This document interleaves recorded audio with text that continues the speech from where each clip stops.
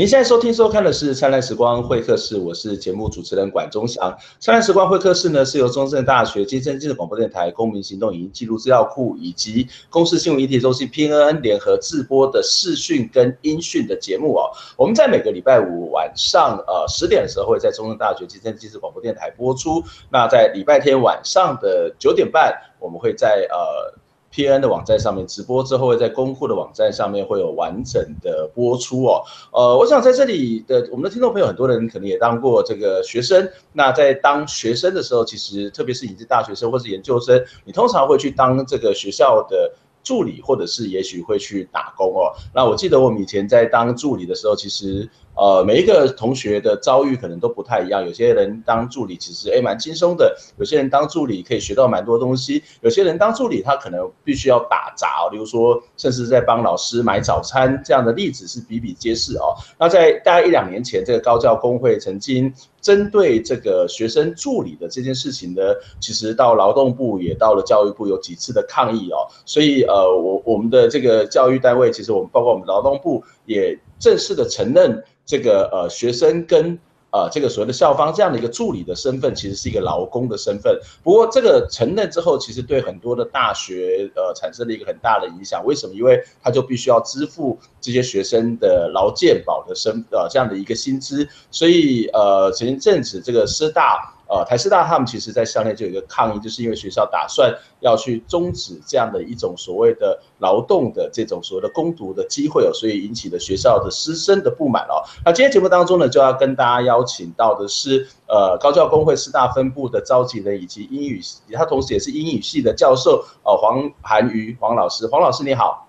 呃，主持人关老师好，各位听众朋友大家好。呃，可不可以请你先简单的告诉我们在啊前一阵子你们这个师大分部哦，还有包括师大的劳权小组老师跟同学们在校内其实有一场的抗议的行动，呃，为什么要抗议呢？它的主要的诉求是什么呢？我想这个抗议的行动可能要放在一个比较大的脉络来看哈，就是呃高教工会台师大分部过去这一年来，其实就有针对特别像是呃兼任助理纳保这些事情。跟学校提出好几次的一些诉求，我们也尝试在校会里面提案，但是就是没有过，或者直接呃被排除在议程之外。在这样一个脉络之下，呃，学校一直都给我们回应说是要等呃教育部的指导原则下来嘛。那大家知道说教育部的指导原则是在六月十七号就通过了，然后在那一个教育呃教育部的指导原则出来一个礼拜之内，我们看到。学校就是由校长那边发出一个公文，上面的公文就是说明要全面的取呃，他是说要暂停取消，但是是取消的层面是全部，等于就是说从下学期开始，师大就没有这个教学助理的这个申请。嗯哼，那我们认为说这一个公文基本上，我把它放在一个刚刚所提到的这个脉络里面来看的话，因为在过去这段时间是学校。呃，尝试用种各种不同这种方法，就是要逃避那个相关的，特别是劳基法有关于兼任助理的保障这个部分嘛。哦，那是我们等一下会讲到那个开罚的劳检的这个问题一部分，我们再来说。总之呢，我们认为说校长的这一个公文，基本上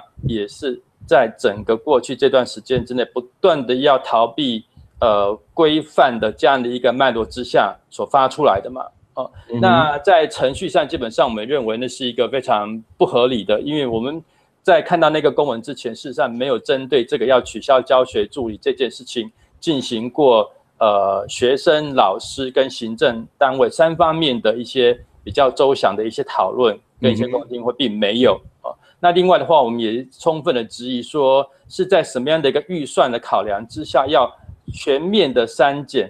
这样的一个教学助理，这个因为我们大家知道说大教呃大学的这个预算早就在前一个年度基本上都已经先呃通过了嘛。对，所以在什么一个理由之下，他已经有预算，但是不去执行，那到底是在怎么样一个考量之下，说预算必须要做这样一个更动？林林总总基于以上这些理由，我们都认为说必须要站在工会的这个立场上，把我们的诉求讲出来。嗯哼，呃，我想确认一下，就是现在想要 要所谓的一个。停止的是有关于 TA 教学助理这个部分，是是没错。那其他在行政单位打工的同学，他们还是一样会有这个聘任的这样的一个资格跟机会。那个部分照学校目前的说法是说还在研拟，基本上还在研拟，对，都是要去呃应应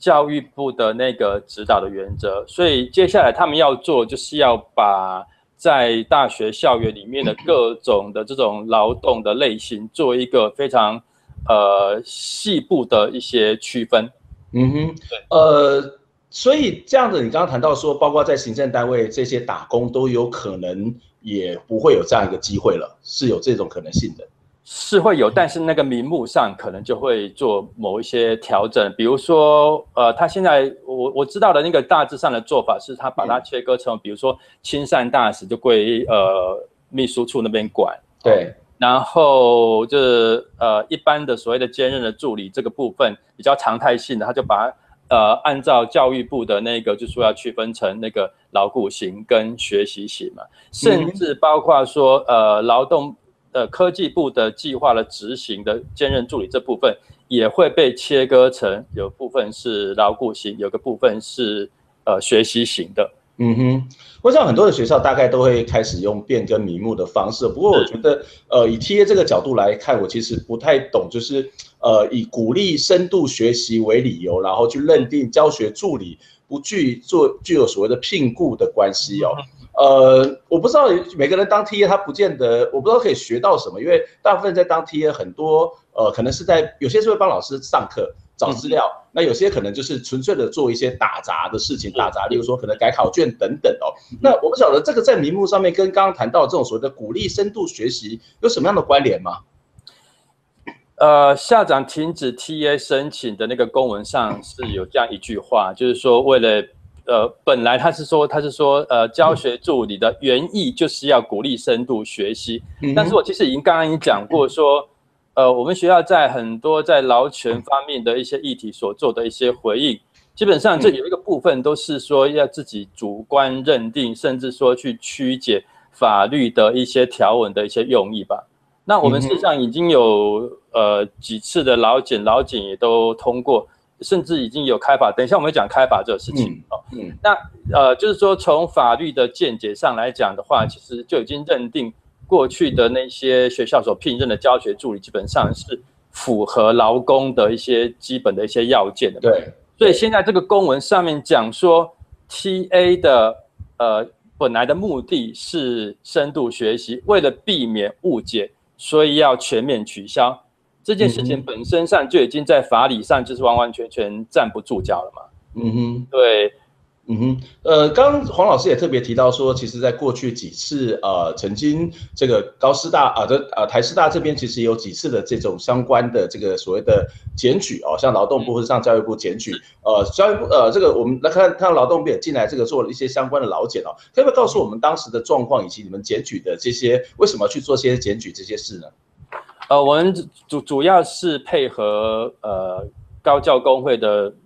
每两个月双月检检举一次这样一个一个呃一个行动，这个诉求持续去做嘛。那我们检举的其实有一个很重要的一个案由是当月薪水没有当月发，但是事实上来劳检的时候，大家知道说他不会只是检查这一项嘛，他可能也要检查说有没有按时呃出勤的那个记录表啦。那当然，另外一个重点就是有没有呃劳保、劳健保，有没有提拨劳退金等等。所以，我们呃配合高教工会的双月检举的几波的这个行动当中，事实上已经有一些案子是成立的。呃，当然有一些案子是还在后续追踪，因为他们可能行政程序上是有点拖延，或者有其他的一些理由。那如果单就只是就成案的已经有开罚的呃这个案例上来讲的话，呃，一个个案他就开了四张罚单，嗯，那四张罚单就针对我刚刚所提到的，包括说呃没有提拨劳退金的，没有劳退劳劳健保，然后没有那一个出缺勤的那些记录等等。那我这边要讲的一个重点是我们当时所提出的那个检举案，事实上是针对系所攻读这部分，但是那个罚单下来之后呢，我们学校把这个罚单就转交给执行。科技部计划的老师由老师去呃缴纳那个罚款，嗯哼，那个是当时一个我们当然也有针对这件事情有提出了一些抗议，就办了一个记者会来把这件事实呃公布给社会知道。这个当时一个我觉得比较值得在讨论的一个一个一个案例了。嗯哼。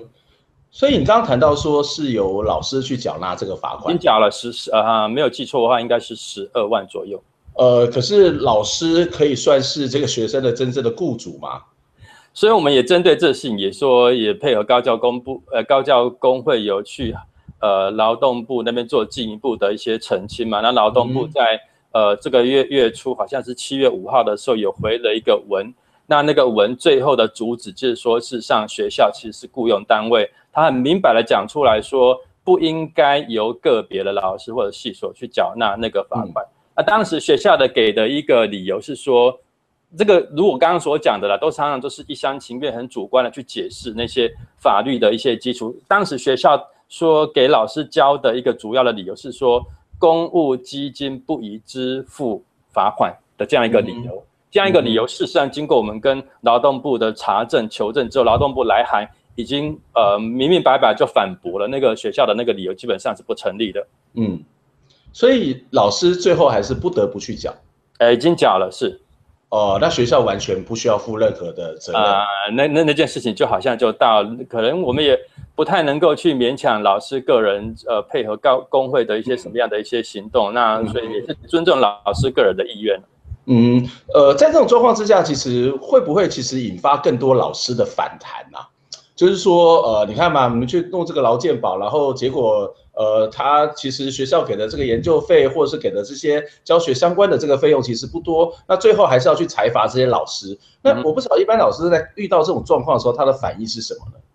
其实不只是老师，然后应该是说整个学校的一面倒的某一种的心理的氛围，或者某一种这种舆论，的确是对于呃高教工会的成员，他们我我们所做的一些诉求、一些行动。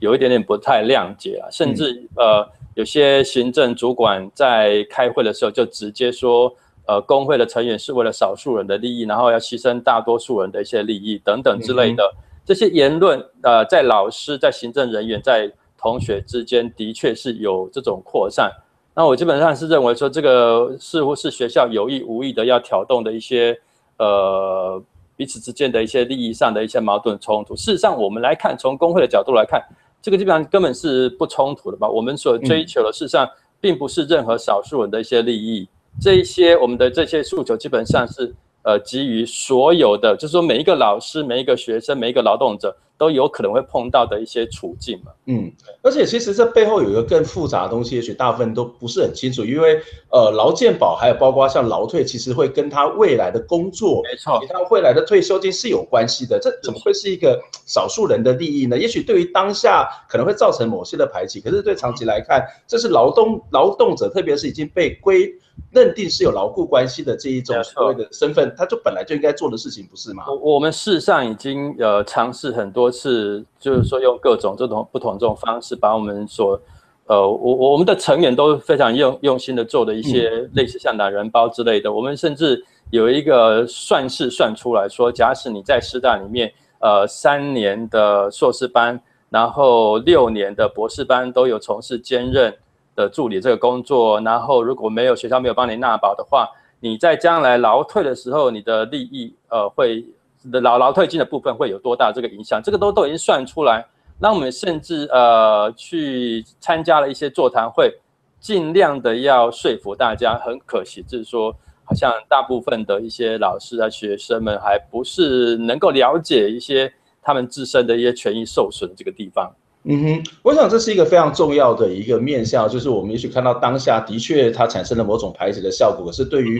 这个劳动者他长期下来的，包括他劳退或者是他应应该有的这种所谓的法律上的保障，其实是必须要去争取的哦。我们待会先休息一下，我们回也许可以再回来讨论几个问题哦。第一个问题就是。很多人会觉得说，学生跟老师他就是一个师生的关系，你把它搞成一个叫做牢固关系在里面的话，那会不会破坏原本的一个师生的和谐，学校里面的和谐这些问题哦？那第二个问题，刚刚黄老师也提到了说，呃，其实已经帮大家算过，就是如果你在台呃台师大这边工作了四年或是六年，你对你未来这个劳退的这个这个钱会有什么样影响？待会可不可以告诉我们这个实际的数字是什么？我想，也许很多人并不清楚，知道这样的一个这样的一个所谓的制度的实施，对他们对我们其实都是一个非常有利的。我们先休息一下。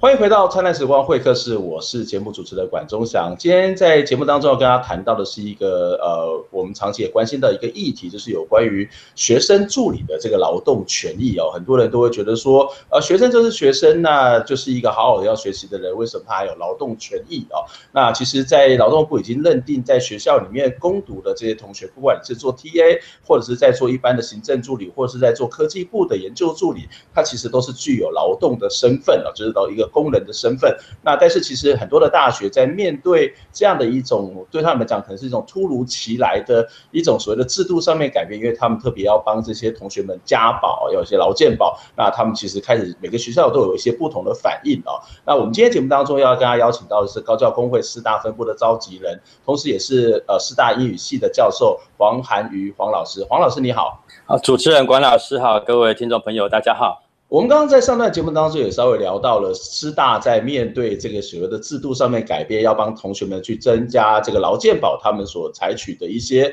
这种所谓的回应的这个措施哦。那其实我们也特别谈到说，呃，虽然看起来现在呃在这个行政上面是给很多同。特别是给行政部门的一些同仁、呃行政人员或者是老师们增加了一些负担，或者是对他来讲是一个困扰。可是长期来讲，对于所谓的学生的劳动权益，甚至是一种所谓的观念的建立，我都觉得是一个非常重要的一件事情哦。呃，刚刚黄老师也提到说，其实里面也帮大家稍微试算了，就是如果一个学生，大家如果是在呃师大攻读了四年或是六年，他其实对他未来的这个退休会有什么样的影响呢？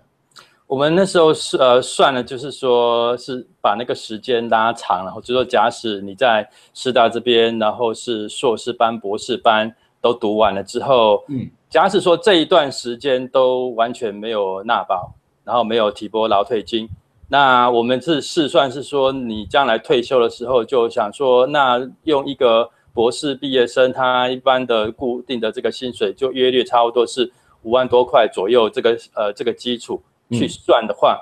假使说有中间有将近呃，刚刚讲过差不多八年的时间，就硕士加博士都没有投保，没有提拨劳退金的话，会影响到他的劳退的那个福利的话，是将近有八十万左右了。嗯，八十万其实是很多的。嗯哼，当然是啊，是非常多。是说这个基础是说是博士生的这样的一个基础，然后是薪水是用呃五万块左右的这个薪水的基础去算。嗯哼，呃，在你们跟一般的同学或是跟老师沟通，他们也不认为这是一件重要的事情吗？呃，大致上就是说，我们就有粉丝页嘛，然后有一些多多少少跟老师啊、同学私底下有一些互动的一些机会，再加上说我们也试图提案，虽然说没有被采纳，然后我们也有在一次的权益的这个座谈会当中。把我们整理的非常详细的、有详尽的、有系统的这个资讯呈现出去，但是我们所碰到的目前这个状况，要么就是就是非常的冷淡，就基本上就是说不太关我的事，那也不太愿意呃发声，然后站出来。那另外一方面就是，如果在上一个阶段里面所提到，就是说那个观念本身事实上是。非常有问题，他们认为说这是因为我们争取这些基本的这些权利，使得工作机会大量的减少，甚至完全没有。我们当然的话，在努力当中呢，还会试图要让我们的这些正确的这些诉求，让更多的师生能够接受。这个部分有一个部分是我们呃工会分部接下来要努力的一些事情。嗯，不过的确，如果从站在校方的角度来讲，这个饼其实并没有因为这个必须要帮同学们做劳健保加保这个部分而有所改变了，所以学校当然会回过头来去呃，希望学生的这种所谓的在这种资源分配上面做一些重新的调整。这个待会我们再跟大家继续的讨论啊，就是我们如果站在一个校方，他应该怎么样去帮他解套，或者说我们怎么样一起跟他去面对这个问题啊？可是回到一个很也是跟刚刚谈到的观念是有关的哦，很多人会觉得说。学生就是学生嘛，哈啊，在学校里面，学生跟老师就是一种师生之间的关系。那你今天去做这种所谓的承认他是一个劳工的身份，那坦白说哦，就是很多时候。师生跟劳劳资之间的关系，在这个身份里面，它是纠葛的哦。那很多时候你会请老师们可能会请同学帮个忙，这个帮个忙，它到底算一个所谓的私人的情谊呢，还是在一个正式的工作上面？那很多人有些人就会觉得说，哎，你这样子搞哦，那把这个师生的关系全部都都打坏了。那原本可能会很好的那种所谓的。课学生跟老师的情谊，恐怕也会变成是这个硬邦邦的条文，或是这种所谓的精神上面的关系。怎么去看这样的一件事情呢？的确是蛮听多听到蛮多的同学跟老师有这方面这种忧呃忧虑啦。我我想我们第一点要澄清，就是说我们追求这一些争取这些基本一些权益，并没有去否认师生之间可以有一些情感上面的知识方面各方面的人生的各方面的一些交流。我们必须要强调，就是说，事实上，呃，我们所追求是法律的最低限度的一些权益、一些保障嘛。所以就是说，我们不否认说，呃，学习常常可能跟劳动之间的确是没有办法有那么清楚的一些切割。但是我们我要求的是说，在法律的最低的这个限度之内，这个部分是绝对是不应该要退让。我甚至认为说，那些师生的这种情谊啊。哦，那种情感的一些依赖等等，不应该拿过来变成是在否认这个法律所应该保障一些基本的一些，甚至有时候我会认为说是法律的这个部分的保障做够了之后呢，才呃师生之间的那种情谊哦，那种互人跟人之间互相这种依赖，那个才会有一个更真实、更稳固的一些基础，否则的话可能会变成是无限上纲到说已经在误用。学生的一些劳力，还给他一个非常伟大的一个道德的一个一个名称，这认为就是在教育的场合里面是非常不应该存在的一个现象。嗯，那你不担心这种这样的一个身份的界定之后，会让两者的关系变得越来越斤斤计较跟所谓的现实吗？我我刚刚也讲过，说其实呃劳基法或者是劳动部相关的一些劳动法律所保障，基本上已经是最低限度的一些一些权益了。那我觉得老师们本身也应该在这样的一个呃争取权益的一个过程当中，需要有一个，也许需要有一个磨合，需要有一个学习的一个过程。也许就是说自己的态度上是不是应该可以做一些转换，做一些调整，或者是说我们也一再强调要请老师们多方面去了解这一些实际的一些法条法规。拿来厘清一些似是而非的一些观念，比如说学校就经常会在呃一些场合里面会呃传递一种说呃有可能会低薪高保，有可能说什么你要付的那个保费会比你实际上领的薪水更多，那当然不会是这样子啊，真的是有老师会相信的。我觉得这个部分其实应该是所谓的，如果要要讲说在学校不只是一个。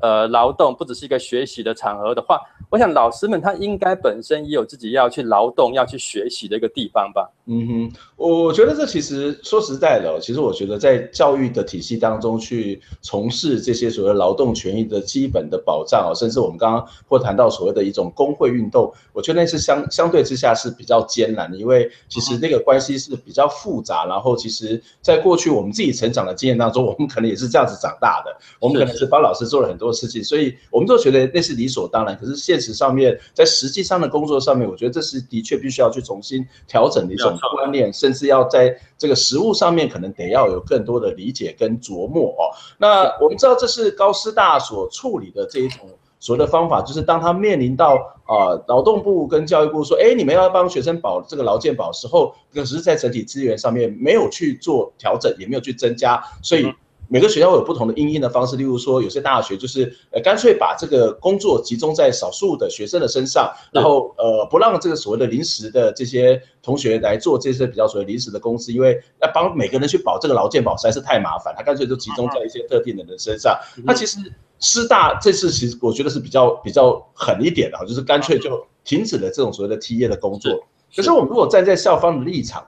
校方这样子做有错吗？就是你本来就没有给我资源的，那难难道你要叫我怎么办？而且现在我们可以看到很多的学校都面临到财政上面的困难，那他就这样子停掉，有什么不可以呢？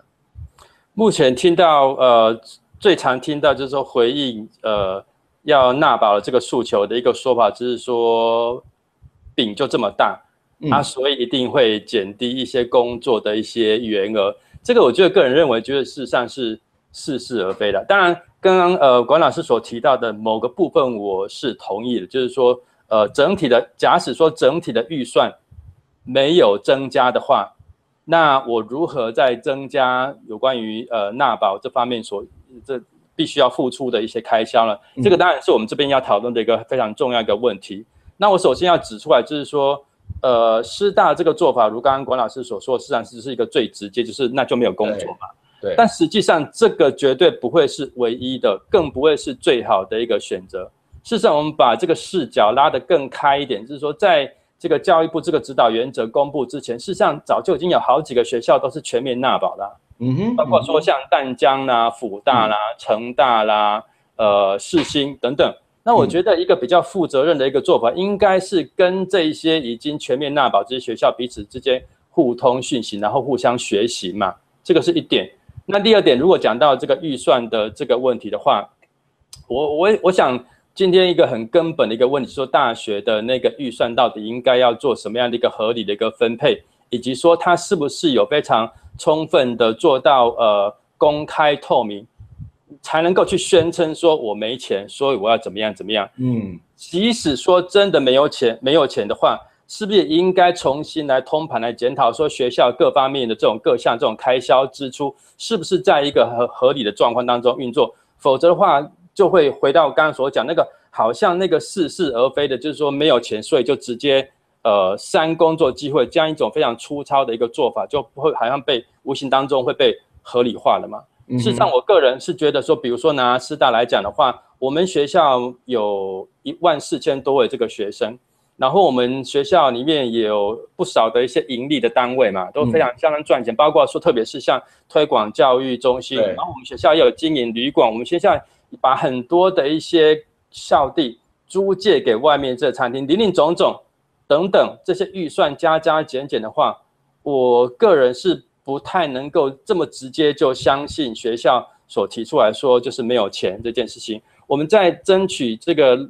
呃，纳保这个权益的这个过程当中，我们也屡次跟学校主计单位要他给我们一个数字，说你说没钱，那到底有没有出估？说你要这个投保的话要花多少钱？学校给我们的的一个数字是一亿七千万，但实际上从我们一些呃，包括说教育部啊、劳动部所出估的一些呃经费的总额来看的话，比如说呃。科技部就曾经说过，说呃，全国大概有十一万研究助理所需的，如果全面纳保的话，这些人大概要占到八到九亿。学校跟我们讲是一亿七千万，科技部所讲的，对，那那个真真的是完完全全不合逻辑的一个数字。说我们像要求说，必须要能够呃预算要公开透明，这个当然还要牵涉一个更大的问题，是说大学这个校产应该要有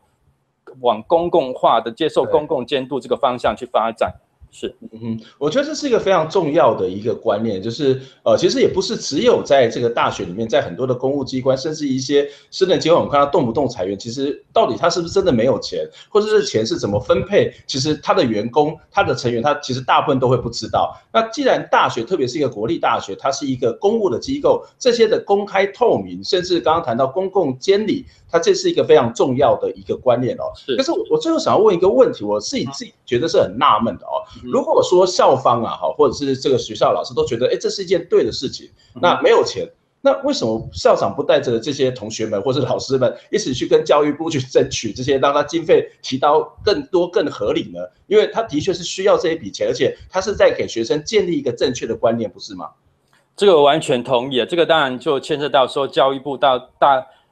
到底在这一波的争取呃兼任助理的权益的过程当中，他到底扮演一个什么样一个角色？嗯，基本上我个人的看法是认为教育部事实上跟学校彼此之间似乎若有似无有一种默契的。从这个教呃指导原则的这个颁布，我们就可以看得出来，他似乎为学校开了一个方便之门，就等于就是让学校可以自行去界定什么是牢固型的，什么是这个学习型的。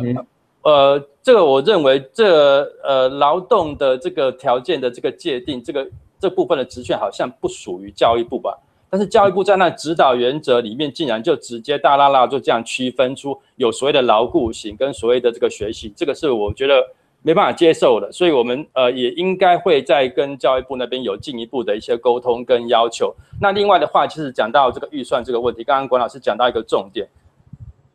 这个部分如果说这个预算是我们大家假使说都同意是很重要的话，嗯，那那个钱到底应该从哪里来？我个人。也是比较倾向说，事实上这是应该由教育部统统筹的，就拨到各校去，这个就能够直接的能够解决。那问题就是说，到底需要花多少钱？事实上，教育部在公布那个指导原则的时候，它其实也做了一个大致上的一个初估，就是说包括这些固定跟不固定。不固定的话，就是说类似像说办研讨会去当几天的工作生，临时的这种。对，预估的话大概是说，呃，二十多亿了。二十多亿的话，就是说可以呃需要就是每年的这些固定跟不固定的这些劳保的各方面的一些保险所需要支付的这个预算大概二十多亿。我个人认为二十多亿在一个教育部这么庞大一个教育部的一个年度的预算里面，说实在，他如果愿意做的话，事实上呃根本不算是一个很难的一件事情啊。嗯哼。那所以这部分我也相当质疑说，教育部到底是有没有真的重视这一个呃兼任助理的这个劳动权益的这个问题，以及有没有心真的跟学校跟师生。同力来解决这个问题，我个人是非常的质疑的。我想这不会是学校校方单方的问题，它更不会是这些同学们要去承担的问题，而是一个整个国家资源如何分配，以及在这个大学体制当中，他怎么去接受公共监理，怎么去公共化，怎么去让这个资源合理分配的一个很重要的问题哦。那今天非常谢谢黄老师来接受我们访问，我想接下来还会有很多的抗争的这个行动。师大在很多的大学，他都面临到同样的问题。谢谢黄老师，那我们也一起加油。谢谢，谢谢，谢谢，谢谢各位听众朋友。